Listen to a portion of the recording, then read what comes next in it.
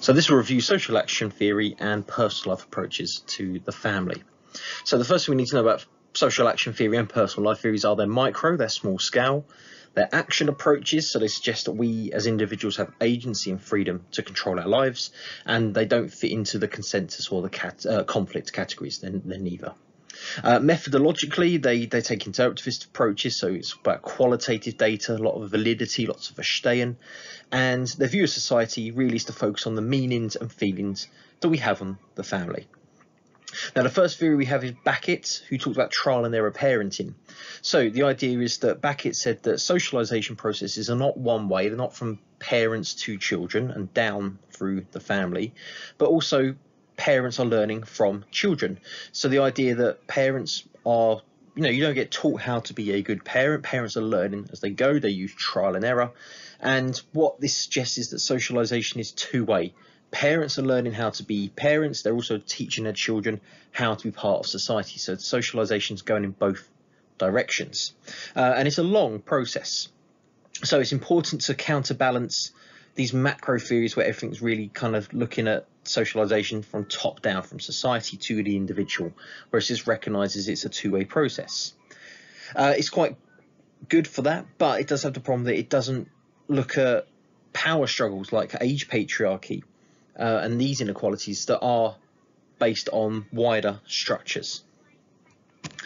Clark talks about the four types of marriage, so argued that marriage is not a one-dimensional thing. You're not happy or unhappy in marriage. Uh, and to do this, he used unstructured interviews uh, to get their data. And what they found, there were four types of marriage. So there was the drifting, where they were unclear about the future and the couple lived day to day. You had the surfacing, which was looking at reconstituted families uh, dealing with problems such as former spouses and children having conflict with new partners. You had establishing couples where they were trying to plan their future together, save for homes, and the struggling, so experiencing financial difficulties and were very pessimistic about the future. A positive is it does recognise that marriage is a varied thing. It's not one type, and it does recognise that it changes through life stages. However, it you can't really explore variation based on class or ethnicity or sexuality because it only focuses on the micro aspects of family life. And lastly, you've got her Hareven. So, uh, talks about life course analysis. So, before 1970, most people followed the same life cycle.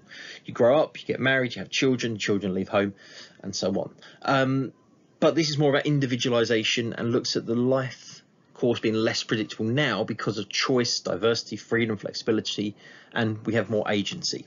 So the idea being that because of all this different family types, because of diversity, because of choice, we can't assume everyone has the same family structure, order, and routine. So we need to look at people's lives and their family structures to understand the life course that they have taken. So it's really a good way of looking at diversity, but again, also how people attach meanings to these changes. And obviously, this was really relevant in that late modern, uh, early postmodern era. Um, so this is different from life cycles, which is kind of fixed and rigid, a bit like you know, like a frog life cycle. Um, and it does suggest that people's lives now are less predictable. Uh, there's more choice. It's changeable, and it also highlights you know what, what we consider the normal family is is quite an is an outdated concept. There is no such thing as the normal family. Um, so it is really focused on individuals as units of analysis rather than the family as a unit of analysis and individuals kind of paths and routes. Now, personal life I've kind of separated here because it's not quite social action, it's not quite postmodernism, it's somewhere in between the two. But what we've got here for personal life is we first we have smart. So smart says that we are not individual people with many relationships, as the postmodernists would suggest, we are connected to others around us. So this highlights connectedness thesis. The five ways we're connected would be through memory, biography, embeddedness, relationality, and imagining. So memories of the family, biography would be documents and photos recording our role in the family. Embeddedness would be the connection to um, our family roots and our sort of like your heritage and your your sort of family name. Relationality is also the relationships you have. And imagining is this the kind of the family we, we think we have and what we really have. Fictive relatives and families of choice also come under smart. You've got Misztal who talks about memories being really important. So the memories we have of our family can influence the relationships and families we have. So negative memories of our parents getting divorced may delay or prevent people from wanting to get married or, or set them into having cohabiting relationships rather than marriage.